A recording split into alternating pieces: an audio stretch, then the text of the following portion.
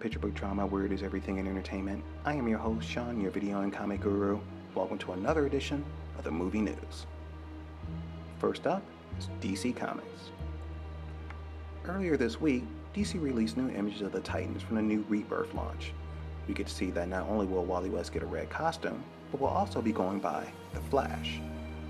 We get a detailed look at Arsenal's new costume, which is an improvement from his new 52 one. Not only did we get Wally back, but we got Donna Troy too, who is not going to be going by Wonder Girl or Troya, simply Donna Troy.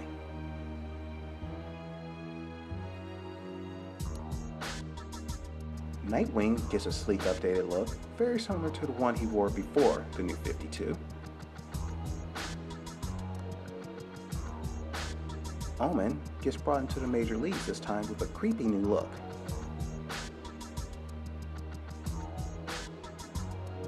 Finally, Tempest is given an all new look complete with facial hair and open toes.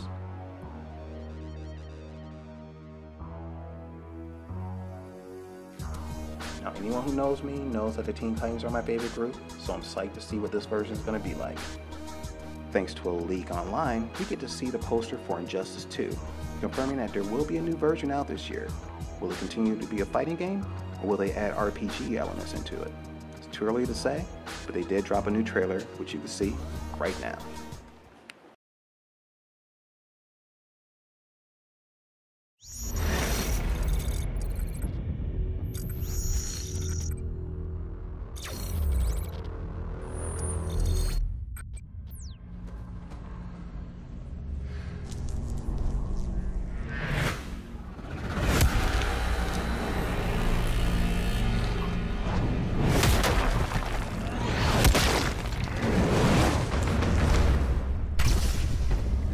Say that battle changes you.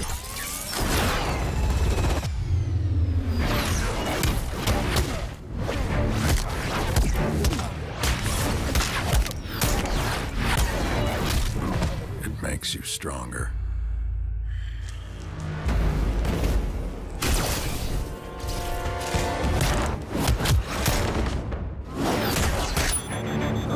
More ferocious.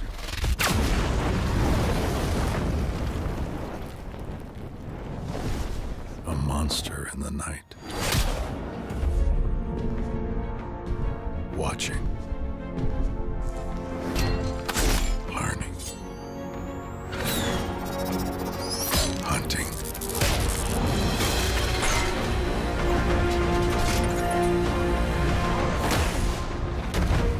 Each time I enter the pit, I emerge reborn.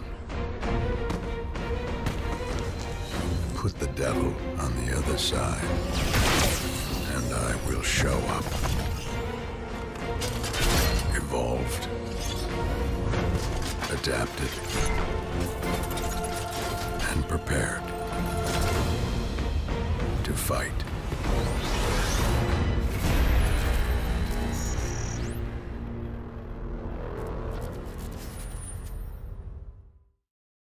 The new poster and title of the new Justice League movie has surfaced.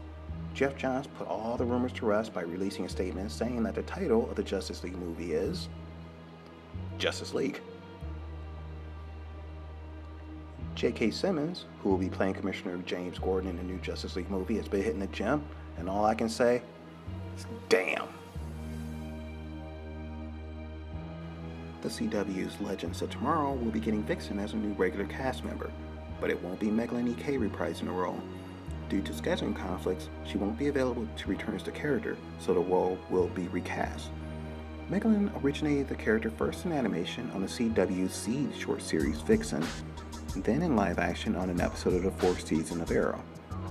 This new Vixen will be a different, earlier incarnation of the character, fitting with the show's time traveling heavy motif. Megalyn did confirm that she will voice the character in the second season of the CW Seed animated series, and that she may return to the character if her schedule allows. Batman the Killing Joke, the animated movie, will be getting a limited release for one night in movie theaters across the country on Monday, July 25th, in two showings at 7.30 and 10 p.m. local time. Please remember, The Killing Joke is rated R, and standard cinema restrictions will apply. If only to get Kevin Conroy and Mark Hamill to play Batman and the Joker one more time, I'll take it. The screenings are just three days after the film's world premiere at San Diego Comic Con on July 22nd, and one day before the movie is available in digital HD on July 26th. The Blu ray and DVD will be out on August 2nd, so don't beat yourself up if you don't have a screening in your town. Tickets will be available for purchase online beginning Friday, June 17th, and you can see right here all the details where you need to go to get your tickets. Or you can go to your participating theater. DC Comics will honor Darwyn Cooke, who passed away in May, with a double page spread in this week's releases, featuring his art and a quote from legendary artist Jack Kirby. Who says comics are just for boys? DC Entertainment last year created an animated short series designed with young girls in mind. The creation is DC Superhero Girls, which features Wonder Woman, Batgirl, Supergirl, Harley Quinn, Bumblebee, Poison Ivy, and Katana as they discover what it takes to be a hero at Superhero High. New images from the now shooting Ghost in the Shell have found their way online. The manga adaptation is currently filming in Hong Kong, where shots of lead actors Scarlett Johansson and Pilou Asbæk, who play Major and Batou, were spotted in the film's marketplace set.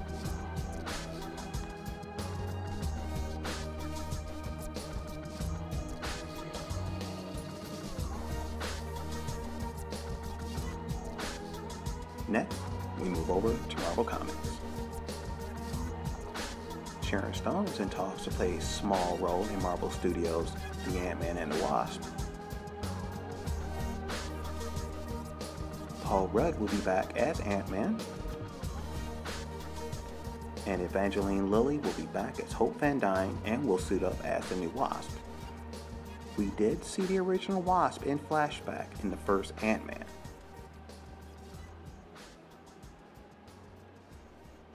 this would be a great way to have Michael Douglas and Sharon Stone on the screen again, since their ultra steamy movie Basic Instincts. And yeah, I went there. Michael B. Jordan has been cast for Marvel Studios' Black Panther with Chadwick Boseman and possibly Lupita Nyong'o. It's not clear what role he'll play, but rumors say that he'll be playing the film's villain, so stay tuned for further updates. Finally, The Walking Dead's Norman Reedus, when asked in a recent interview with Uproxx if he would be interested in playing the Ghost Rider, he only had one response Hell yeah. But that'll be it for me, guys. That's the movie news. I am your host, Sean, your video and comic guru. Don't forget to hit me in that comment section below. Hit me up on Facebook. I'm on Twitter. I'm on Tumblr. I'm on Behance.net. Till then, hope to see you guys soon. Bye. Peace.